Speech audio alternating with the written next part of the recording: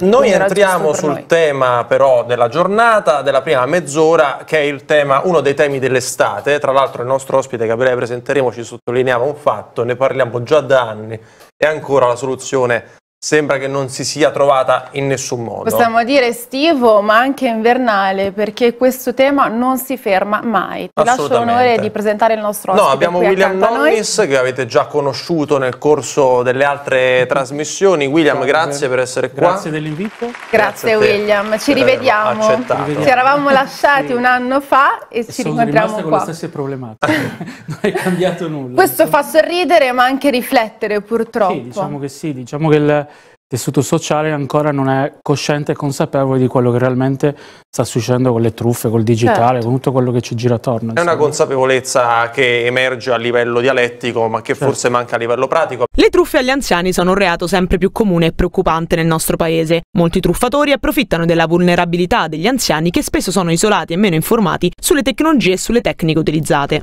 Le estorsioni dei furbetti possono assumere molte forme diverse. Una delle più frequenti, come dichiarato da Alessandro Mennini, dirigente della sezione reati contro il patrimonio della squadra mobile di Roma, è quella del falso nipote, nella quale i malfattori, fingendosi dei cari, raccontano di avere problemi economici o con la giustizia per portarsi a casa una somma di denaro. Dicono di avere immediatamente bisogno di soldi e che un amico verrà a prenderli il prima possibile. Tengono l'anziano al cellulare fino a quando il complice non arriva nell'abitazione, in modo tale da non concedergli il tempo di ripensarci o eventualmente chiamare un parente per dare dei chiarimenti. Ma questa è solo una delle tante truffe scogitate. Tra queste si contano quelle del controllo del denaro prelevato e la truffa del pacco. Attenzione infatti se vogliono consegnare un pacco a fronte del pagamento di una somma di denaro, asserendo che la merce era stata precedentemente ordinata dai vostri figli, parenti o comunque da persone a voi note. Per proteggere gli anziani dalle truffe è importante educarli sulle strategie utilizzate dai truffatori e fornire loro strumenti per proteggere le proprie finanze. Inoltre è importante che i familiari e gli amici degli anziani prestino attenzione ai segnali di possibili raggiri e li supportino nella segnalazione di eventuali attività sospette alle autorità competenti. La consapevolezza e la vigilanza possono aiutare a prevenire le truffe e proteggere gli anziani da danni finanziari e psicologici. Il servizio che abbiamo visto, realizzato dalla nostra Benedetta Damiani, è un servizio a tutto tondo, però è chiaro che il tema truffa agli anziani ultimamente William si sta molto spostando a livello web, a livello internet, con il classico accettare i cookie, con il esatto. classico toccare le mail, il tema del phishing, insomma, come difendersi e come aiutare le persone anziane a difendersi da tutto ciò. Allora, si sta spostando soprattutto per gli anziani a livello web perché oggi gli anziani hanno anche un dispositivo, un telefono, uno smartphone che permette la navigazione, la ricezione di mail, offerte e quant'altro, quindi anche per loro sta diventando molto accessibile questa realtà. Qual è il contesto? Sicuramente chi è vicino ai nipoti, figli, parenti, quello che vuoi tu, devono instradarli perché per loro è un mondo nuovo, no? immaginate che per loro è come se fossero tra virgolette su un altro pianeta, questo è il contesto. E loro sono logicamente ingenui, perché comunque non hanno coscienza e consapevolezza di capire se clicco qui cosa succede o se non clicco qui cosa non succede. Quindi nel momento in cui diciamo all'anziano di turno arriva uh, una mail, un sms, una chiamata un po' sospetta, è giusto contattare un parente. Questa è la realtà, è il primo passo. Poi nel momento in cui sicuramente gli dicono clicca qui perché eh, ti deve arrivare un pacco, hai vinto uno smartphone, perché queste sono le migliori che le girano che, su, esatto. sul web, capite benissimo che già lì deve venire un campanello d'allarme, ma tutto questo comunque è scatenato perché oggi c'è un problema anche di eh, distribuzione delle singole informazioni degli individui nel famoso, diciamo, diciamo nel backstage, accettare questi benedetti cookie, accettiamo, navighiamo, facciamo, è inizialmente si dice che non crea nessun problema il telemarketing, cosiddetto il telemarketing, e poi io mi domando sempre ma come vengono a sapere queste persone i numeri di telefono di determinati anziani? Questo è il dilemma Beh, ma questo è un a tema monte, enorme, nel senso qua c'è anche un tema di privacy gigantesco. Questo è un problema secondo me che va al di fuori del contesto tecnologico, perché esatto. come fanno i diciamo furbetti, per non definirli in un'altra maniera, a conoscere il numero di telefono di un anziano che tra l'altro sta da solo, non ha figli, non ha marito, cioè non ha nulla eh, questo è il tema vero e quindi quando noi parliamo di privacy allora a questo punto dico ma privacy di che cosa? Esatto. Questo è il dilemma. E poi e tra l'altro mi aggancio a questo tema da te alzato William, però io rigiro questa tua riflessione al nostro ospite in studio perché la nostra privacy, bene o male, noi abbiamo i social, eh, siamo anche nel nostro molto molto piccolo personaggi che si espongono all'interno della televisione e dunque... Lanciamo tutto ormai la nostra Ma vita sui social, non abbiamo purtroppo problemi. o per fortuna. Poi Però io faccio la, più, chi la, domanda che non so, cioè per noi giovani riusciamo in qualche modo esatto. a arginare il tema.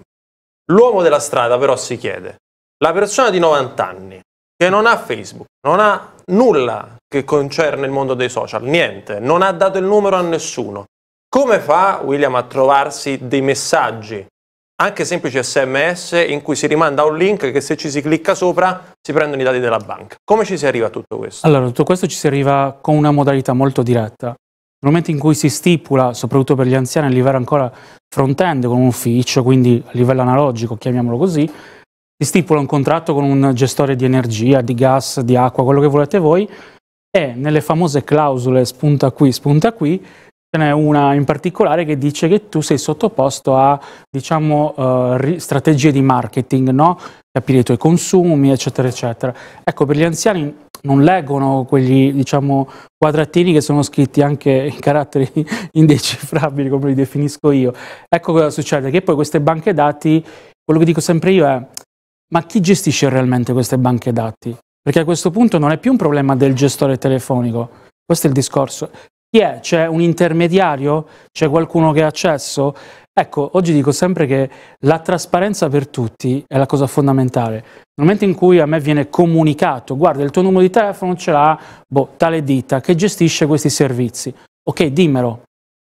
Non nasconderlo, Giusto. perché io devo venire a sapere attraverso purtroppo truffe. Succede una marea, guarda, ti parlo di un caso mio, dicembre, gennaio, hanno clonato la mia identità tu dici, un esperto come te. No, vabbè, sono riusciti. Proprio perché cioè, sei esperto, eh, secondo esatto. me. No, sono riusciti, esatto. sono rimasto basito anch'io perché, tra virgolette, eh, mi ha contattato un gestore de telefonico de degli smartphone mobile.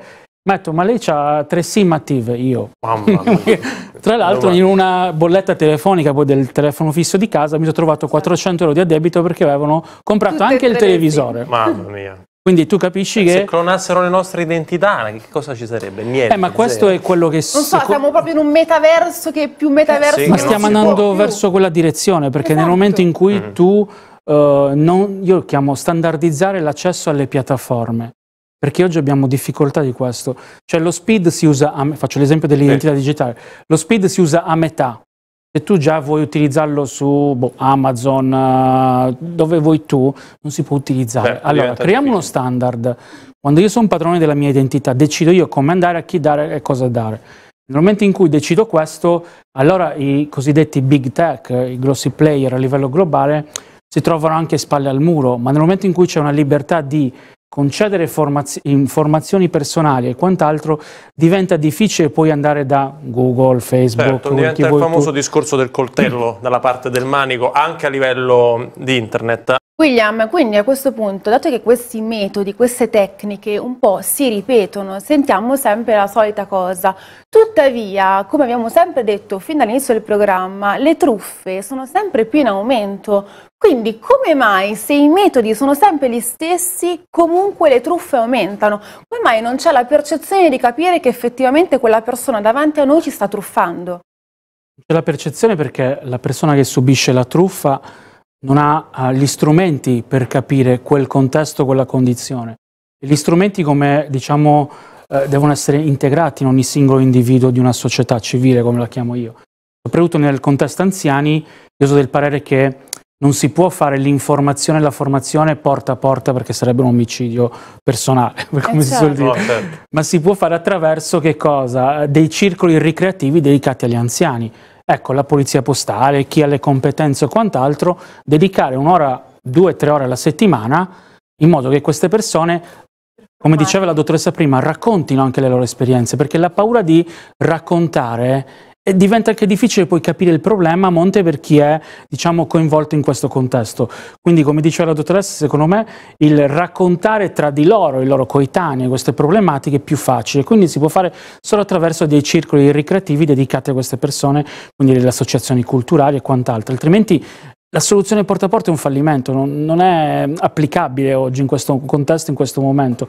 È sicuro c'è da fargli capire che nel senso che si sta andando verso totalmente un'ottica totalmente digitale, non usciamo più da questo contesto, Chiaro. dobbiamo entrare sempre in questo eh, diciamo, paradigma E quello che è rimasto, come dico io, analogico, dobbiamo iniziare a capire quanto è conveniente, quanto è tutelato e perché. Quello che dici è sicuramente un tema virtuoso ed è una soluzione virtuosa. E questo è un tema enorme che ovviamente apriremo magari anche nelle prossime puntate, il sistema Italia. Potremmo dire che dovrebbe esserci molta più informazione rispetto a questo tema, forse ce n'è troppo poca? Che con ne questo pensi? chiudiamo. Non è che ce n'è... Allora, sono in parte d'accordo con il vostro con il collega collegato, non è, è, è restrittivo il discorso dei circoli, no, è sbagliato dire così, perché comunque intanto arriva una porzione di popolazione, punto primo, e non a zero, intanto arriva una percentuale.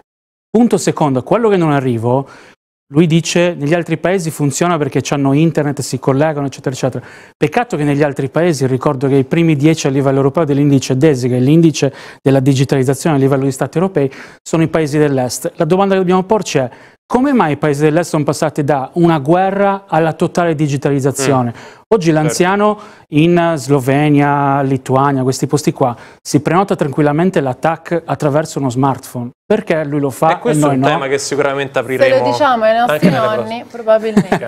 grazie William, grazie, grazie di cuore, a grazie martedì William. prossimo, tornerei a trovarci, grazie certo. alla dottoressa.